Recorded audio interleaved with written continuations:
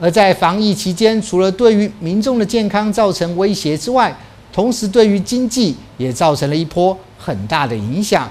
尤其花莲目前许多各大饭店的住房率都少于五成，而在原本三到五月是婚礼旺盛的时期，却在防疫期间纷纷的退订住宿和餐厅，相关行业也间接的受到冲击。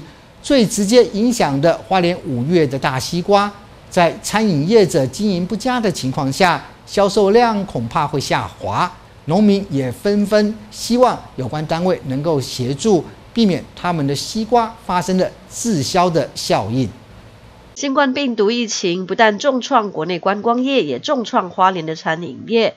因为民众忧心群聚感染，不愿出门消费，再加上婚礼业者跟餐厅的退订，更是雪上加霜。饭店业者表示，原本三到五月是结婚的旺季，目前因为婚礼公司的退订，连带造成了饭店餐厅的业绩下滑，跌破五成以下的业绩。好，那以我们现在住住房率来讲，跟大概三成多，好，跟以往比起来，大概掉了大概三成左右，好，甚至更多。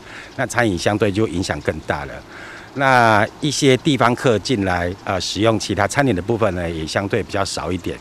那原本饭店在操作是有两个餐厅，哈，一个是中式的，一个是西式的。那我们现在就是在呃人力的调配以及呃可能开厅的成本上面去做一些运用。所以我们目前来讲，大概是休一天，好，然后把人力集中，服务集中，哈，也不会说因为人少而服务变差这样子。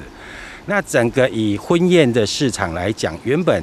大概三到五月算是结婚的旺季，那因为疫情的关系，哈，就尽量避免聚集，那所以整个婚宴的市场大大部分都往后延到大概十一、十二月。好，所以这一个可能三到五月之间呢，在整个呃婚宴的这个区块呢，就相对目前是比较没有的。对，以往餐厅业者最爱使用的水果是西瓜，在餐厅业者的业绩不理想的情况之下，间接影响到了目前正准备盛产的西瓜产季，恐怕是下一波受到重创的产业。呃，餐厅业者他的营业情况不是很好，会不会担心这个西瓜会有滞销的情况？会会很担心啊？怎么不会很担心？像一些餐厅跟饭店，几乎生意的都一些客人啊，一些百姓都不敢去了啊啊！现在我们西瓜下个月月中跟月底就开始要，呃，是要就开始要生产了啊。他当然会担心啊，怎么不会担心？近期因游客大幅减少，餐厅经营也大受影响，乏人问津，业者经营不下去，较去年同期几乎砍半业绩。农民忧心五月即将到来的产季，若疫情仍未好转，销售情况不佳，恐怕造成花梨西瓜的滞销情形发生。众人也期盼肺炎疫情能够早日消退，希望政府能够赶快拿出解方。